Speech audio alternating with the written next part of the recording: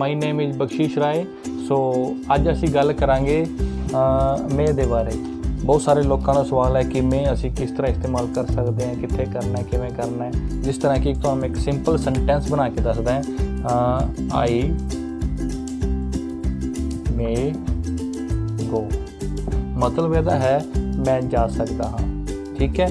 ਔਰ ਯਾਦ ਰੱਖਿਓ, ਜੋ ਮੈਂ ਹੈ ਅਸੀਂ ਇਹਨੂੰ ਪਰਮਿਸ਼ਨ ਦੇ ਲਈ ਇਸਤੇਮਾਲ ਕਰਨਾ ਹੈ, ਅਨੁਮਤੀ ਦੇ ਲਈ ਇਸਤੇਮਾਲ ਕਰਨਾ ਹੈ, ਠੀਕ ਹੈ?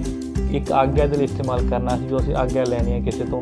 ਜਦੋਂ ਅਸੀਂ ਸਕੂਲਾਂ ਦੇ ਵਿੱਚ ਜਦੋਂ ਅਸੀਂ ਦੇਖਦੇ ਹਾਂ ਕਿ ਬੱਚੇ ਜ਼ਿਆਦਾਤਰ ਇਹਦਾ ਇਸਤੇਮਾਲ ਕਰਦੇ, ਜਿਸ ਤਰ੍ਹਾਂ ਉਹ ਕਹਿੰਦੇ madam may I come in ਜਾਂ ਫਿਰ, madam may I go to washroom may I go to drink water may ਦਾ ਇਸਤੇਮਾਲ ਕਰਦੇ, ਕਿਉਂ?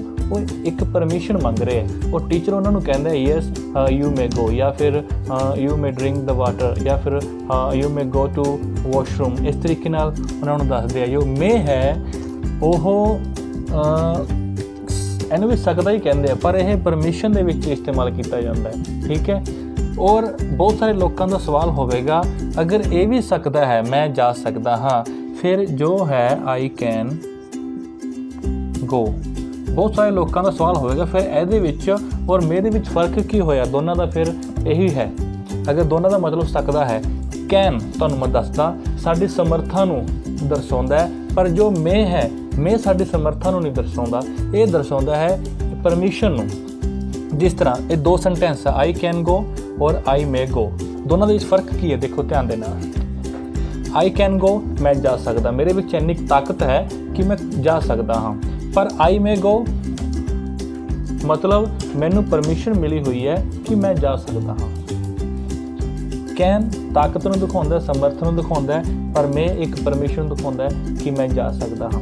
ਦੂਸਰਾ, ਮੈਂ ਤੁਹਾਨੂੰ ਇੱਕ ਉਦਾਹਰਨ ਦੇ ਲਈ ਦੱਸਾਂਗਾ। ਅਗਰ ਮੰਨ ਲਓ, ਮੈਂ ਹਸਪਤਾਲ ਦੇ ਵਿੱਚ ਹਾਂ, ਠੀਕ ਹੈ ਮੇਰੇ ਕੋਲ ਬਹੁਤ ਸਾਰੇ ਫਲ ਫਰੂਟ ਪਏ ਨੇ। ਠੀਕ ਹੈ? ਬਨਾਨਾ ਪਿਆ ਕੇਲਾ ਪਿਆ ਐਪਲਸ ਪਏ ਹੈ, ਜਾਂ ਫਿਰ ਗ੍ਰੇਪਸ, ਅੰਗੂਰ ਪਏ ਹੈ, ਜਾਂ ਫਿਰ ਕੋਈ ਵੀ ਫਰੂਟ ਪਿਆ ਹੈ। ਔਰ ਉੱਥੇ ਇੱਕ ਬਨਾਨਾ ਪਿਆ ਔਰ ਇੱਕ ਐਪਲ ਪਿਆ ਡਾਕਟਰ ਨੇ ਸਾਨੂੰ ਆਖਿਆ, ਭਾਈ, ਤੁਸੀਂ ਬਨਾਨਾ ਨਹੀਂ ਖਾਣਾ, ਪਰ ਤੁਸੀਂ ਐਪਲ ਖਾਣਾ ਹੈ। ਅਗਰ ਤੁਹਾਨੂੰ ਕੋਈ ਪੁੱਛਦਾ ਹੈ, ਤੁਸੀਂ ਐਪਲ ਕਿਉਂ ਖਾ ਰਹੇ ਹੋ? ਤੁਸੀਂ ਖਾ, ਕਹਿ ਸਕਦੇ ਹੋ ਕਿ ਅਗਰ ਤੁਹਾਨੂੰ ਕੋਈ ਪੁੱਛਦਾ ਕਿ ਤੁਸੀਂ ਐਪਲ ਖਾ ਸਕਦੇ ਹੋ, ਤਾਂ ਤੁਸੀਂ ਕਹਿ ਸਕਦੇ ਹੋ ਕਿ ਆਈ ਮੇ ਨਾਟ ਆਈ ਮੇ ਈਟ ਠੀਕ ਹੈ? ਪਰ ਜੋ ਬਨਾਨਾ ਅਗਰ ਤੁਹਾਨੂੰ ਕੋਈ ਪੁੱਛਦਾ ਹੈ ਕਿ ਕੀ ਤੁਸੀਂ ਬਨਾਨਾ ਵੀ ਖਾ ਸਕਦੇ ਹੋ, ਤਾਂ ਤੁਸੀਂ ਕਹਿ ਸਕਦੇ ਹੋ ਆਈ ਮੇ ਨਾਟ ਈਟ ਕਿਉਂ ਨਹੀਂ ਖਾ, ਕਹਿ ਸਕਦੇ? ਆਈ ਕੈਨ ਨਾਟ ਈਟ ਕਿਉਂਕਿ ਤੁਸੀਂ ਖਾ ਤਾਂ ਸਕਦੇ ਹੋ, ਪਰ ਤੁਹਾਨੂੰ ਡਾਕਟਰ ਨੇ ਮਨਾ ਕੀਤਾ ਹੈ ਕਿ ਭਾਈ ਤੁਸੀਂ ਇਹਨੂੰ ਨਹੀਂ ਖਾਣਾ। ਸਮਰਥ ਹੈ, ਤੁਸੀਂ ਉਹਨੂੰ ਚੱਕ ਕੇ ਖਾ ਸਕਦੇ ਹੋ। ਆਈ ਯੂ ਕੈਨ ਈਟ ਠੀਕ ਹੈ, ਤੁਸੀਂ ਖਾ ਸਕਦੇ ਹੋ। ਪਰ ਦਿੱਕਤ ਕੀ ਹੈ? ਤੁਹਾਨੂੰ ਡਾਕਟਰ ਨੇ ਮਨਾ ਕੀਤਾ ਹੈ ਕਿ ਤੁਸੀਂ ਇਹ ਕੇਲਾ ਬਨਾਨਾ ਨਹੀਂ ਖਾਣਾ। ਠੀਕ ਹੈ? ਇੰਨਾ ਫ਼ਰਕ ਹੈਗਾ ਇਹਦੇ ਵਿੱਚ। ਸੋ ਆਈ ਹੋਪ ਥੈਟ ਕਿ ਤੁਹਾਨੂੰ ਸਮਝ ਲੱਗਿਆ ਹੋਵੇਗਾ। ਆਈ ਅਸੀਂ ਅੱਗੇ ਗੱਲ ਕਰੀਏ। ਆਈ ਮੇ ਗੋ ਮੈਂ ਜਾ ਸਕਦਾ ਹਾਂ। ਠੀਕ ਹੈ ਜੀ? ਮੈਂ ਜਾ ਸਕਦਾ ਹਾਂ। ਜਾਂ ਫਿਰ ਅਸੀਂ ਕਹਿ ਸਕਦੇ ਹਾਂ ਯੂ ਮੇ ਗੋ ਇਹ ਤੁਸੀਂ ਕੋਈ ਵੀ ਪ੍ਰਨਾਉਨ ਦੇ ਨਾਲ ਹੀ ਸ਼ੀ ਹੁਈ ਜੋ ਤੁਸੀਂ ਲਗਾਉਣਾ ਚਾਹੁੰਦੇ ਹੋ, ਉਹਦੇ ਨਾਲ ਤੁਸੀਂ ਇਹਦਾ ਇਸਤੇਮਾਲ ਕਰ ਸਕਦੇ ਹੋ। ਯੂ ਮੇ ਗੋ ਠੀਕ ਹੈ? ਯੂ ਮੇ ਡਰਿੰਕ ਡਰਿੰਕ ਠੀਕ ਹੈ? ਯੂ ਮੇ ਡਰਿੰਕ ਤੁਸੀਂ ਪੀ ਸਕਦੇ ਹੋ। ਯੂ ਮੇ ਈਟ ਤੁਸੀਂ ਖਾ ਸਕਦੇ ਹੋ। ਠੀਕ ਹੈ? ਕਈ ਵਾਰ ਅਸੀਂ ਡਾਕਟਰ ਤੋਂ ਪੁੱਛਣਾ ਸਰ, ਮੈਂ ਰੋਟੀ ਖਾ ਸਕਦਾ ਹਾਂ? ਯੈਸ ਯੂ ਮੇ ਈਟ ਤੁਸੀਂ ਖਾ ਸਕਦੇ ਮਤਲਬ ਤੁਹਾਨੂੰ ਪਰਮਿਸ਼ਨ ਹੈ ਕਿ ਤੁਸੀਂ ਇਹ ਕੰਮ ਕਰ ਸਕਦੇ ਹੋ। ਇਸ ਤਰੀਕੇ ਨਾਲ, ਅਗਰ ਅਸੀਂ ਇਸੇ ਚੀਜ਼ ਨੂੰ ਬਣਾਉਣਾ ਹੈ ਨਾ ਬਾਚਕ ਦੇ ਵਿੱਚ, ਤਾਂ ਤੁਸੀਂ ਕੁਝ ਨਹੀਂ ਕਰਨਾ, ਸਿਰਫ ਇੱਕੋ ਹੀ ਕੰਮ ਕਰਨਾ ਹੈ। ਮੇ ਦੇ ਨਾਲ ਆਈ ਮੇ ਨਾਟ ਗੋ ਕਿ ਮੈਨੂੰ ਜਾਣ ਦੀ ਅਨੁਮਤੀ ਨਹੀਂ ਹੈ, ਮੈਂ ਨਹੀਂ ਜਾ ਸਕਦਾ। ਠੀਕ ਹੈ? I may not eat you may not go you may not you you you may may go ਤੁਸੀਂ ਨਹੀਂ ਜਾ ਸਕਦੇ। ਤੁਹਾਨੂੰ ਪਰਮਿਸ਼ਨ ਨਹੀਂ ਹੈ, ਤੁਸੀਂ ਬਾਹਰ ਨਹੀਂ ਜਾ ਸਕਦੇ। ਸਕੂਲਾਂ ਦੇ ਵਿੱਚ ਅਧਿਆਪਕ ਬੱਚਿਆਂ ਨੂੰ ਕਹਿੰਦੇ ਆ ਕਿ ਤੁਸੀਂ ਬਾਹਰ ਨਹੀਂ ਨਿਕਲ ਸਕਦੇ, ਕਿ ਤੁਸੀਂ ਬਾਹਰ ਨਹੀਂ ਜਾ ਸਕਦੇ। ਕਿਉਂ? ਜਾ ਤਾਂ ਸਕਦੇ ਆ ਬੱਚੇ ਪਰ ਉਹਨਾਂ ਨੂੰ ਪਰਮਿਸ਼ਨ ਨਹੀਂ ਹੈ ਕਿ ਉਹ ਬਾਹਰ ਜਾ ਨਾ ਜਾਣ। ਠੀਕ ਹੈ?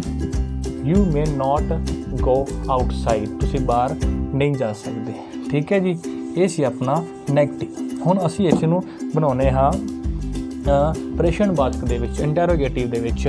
ਜਿਹੜਾ ਇਹ ਵਾਲਾ ਮੇ ਹੈ ਕੁਝ ਨਹੀਂ ਕਰਨਾ, ਇਹਨੂੰ ਚੱਕ ਕੇ ਅੱਗੇ ਲਿਆਓ। May I go question mark ਬਸ। ਇੰਨਾ ਕੀ ਕੰਮ ਸੀ? ਮੈਂ ਅੱਗੇ ਆ ਗਿਆ ਮੇ ਆਈ ਗੋ ਬਸ।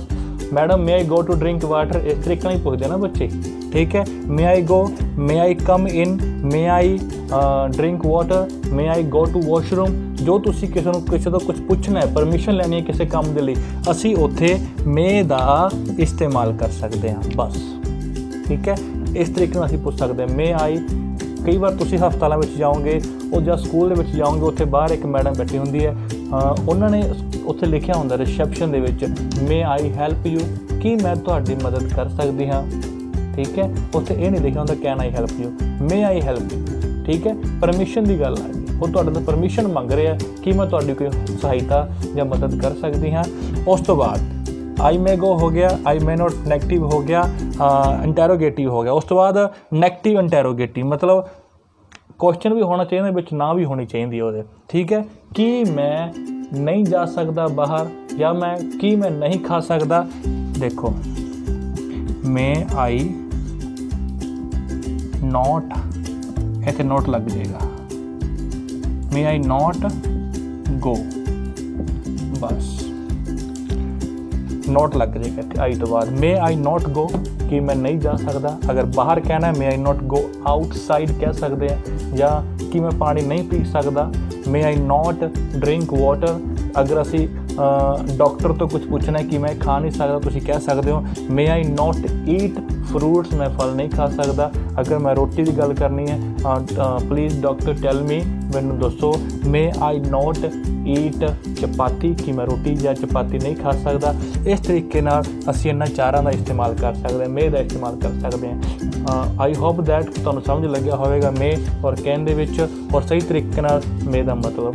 ਸੋ ਇਸ ਵੀਡੀਓ ਨੂੰ ਵੱਧ ਤੋਂ ਵੱਧ ਲਾਈਕ ਕਰੋ ਸ਼ੇਅਰ ਕਰੋ ਔਰ ਜੋ ਵੀ ਤੁਹਾਡਾ ਸਵਾਲ ਹੈ ਕਮੈਂਟ ਬਾਕਸ ਦੇ ਵਿੱਚ ਤੁਸੀਂ ਪੋਸਟ ਕਰ ਸਕਦੇ ਹੋ। Thank you so much God bless you